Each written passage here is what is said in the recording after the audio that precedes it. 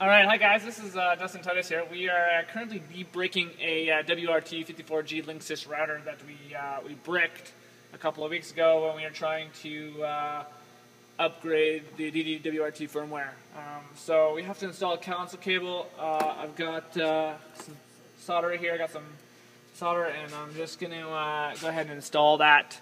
quickly. So what I'm doing is I'm just adding I'm just adding some solder here to the to the console board cable, uh, making sure we're nice and full so we can go ahead and install uh, the part that we need to install. Um, so what we're doing is just installing a quick little, uh, just a quick little, uh, I don't even know, is a 12 pin connector here, and uh, we're just going to make sure that happens. So um, it's a little bit trickier because this board is uh, so crazy, but yeah, we're just going to kind of solder along here and plug it in and make sure that everything is sort of soldered in together, and uh, yeah, well, that's, uh, that's, that's, that's what's happening here.